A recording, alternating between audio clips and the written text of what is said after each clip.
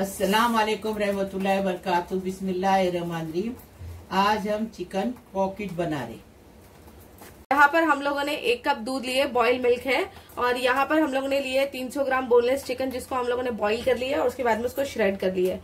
और यहाँ पर हम लोगों ने मैदा लिया हुआ है एक कप के करीब में और यहाँ पर मीडियम साइज़ का प्याज है जिसको फाइनली चॉप कर लिया है। यहाँ पर ब्रेड क्रम लगेगा आ, ये जो क्रॉकेट्स है उसको कोट करने के लिए।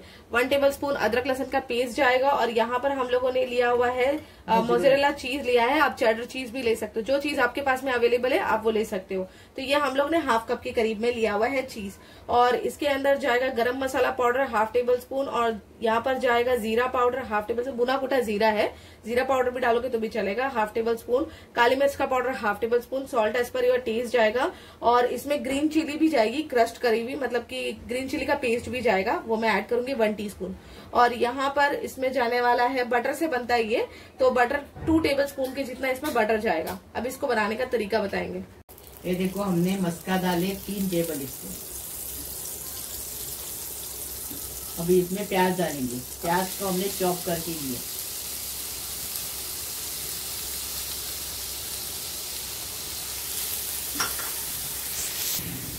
प्याज को सिर्फ़ नरम करके लेंगे। कलर बदली नहीं करेंगे।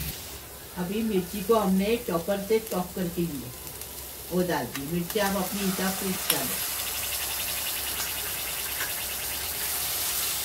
अदरक लहसुन डालें। इसकी भी कच्ची स्मेल जाने तक अच्छे से भूनेंगे। अब ये मैदा डालेंगे और मैदे को भी अच्छे से भूनेंगे।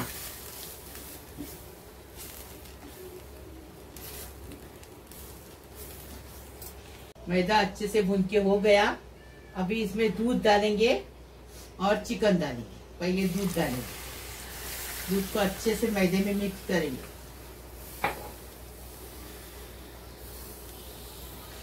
अभी हम चिकन डालेंगे।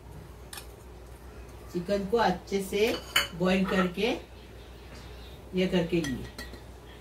मसाला डाल दिए और मोजरूला चीज़ डालेंगे और इसको अच्छे से सूखने तक, आटे की तरह सूखने तक पकाएँगे।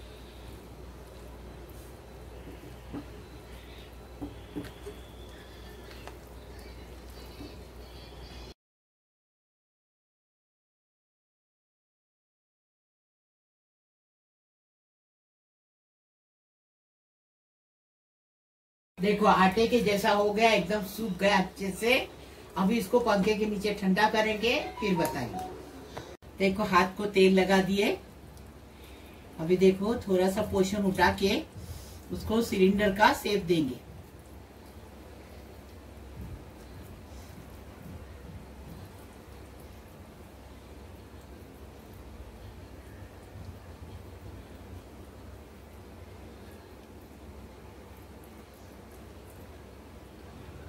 देखें, ऐसा।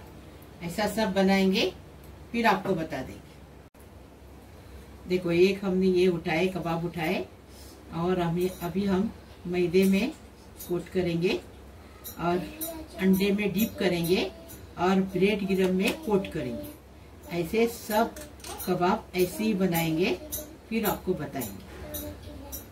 तो पहले मैदे में कोट करके रख रहे हैं फिर हम लोग अंडे में डिप करेंगे और ब्रेड क्रम में कोट करेंगे ना तो जब आपको बताएँगे अभी हम लोग सारे जो है हाँ। इस तरीके से मैदे में पहले कोट करके रख रहे हैं। अभी एक उठाएँगे अंडे में डिप करेंगे ब्रेड गिरम में कोट करेंगे और साइड में रखेंगे। पहले हमने मैदे में कोट कर दिए।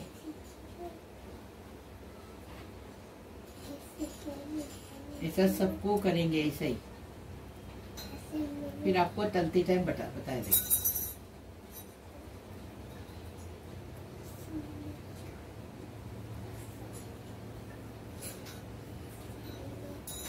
थोड़ा सा तेल डालें और अभी इसको फ्राई करेंगे। गोल्डन ब्राउन होने तक फ्राई करेंगे। इसको बनाकर आप फ्रीजर में भी रख सकते हो। एयर टाइट कंटेनर में या फिर जिपलॉक बैग में इसको बनाकर ऐसे भी रख सकते हो। कभी भी कोई मतलब दावत हुई मेहमान अगर आने वाले हैं तो देन आप इसको निकाल कर पंद्रह मिनट पहले निकाल कर फिर उसको फ्राई कर सकते हो। ये हो गया अब इसको निकालेंगे और सब करेंगे। देखो हमने चिकन क्रॉकेट बनाया एकदम फ़र्स्ट क्लास बना है। बाहर से क्रिस्पी अंदर से क्रीमी बना है। देखो हम तोड़ के बताते हैं।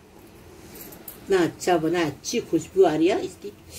ये देखो, हाथ बहुत चल रहा है, देखो वैसा है वो।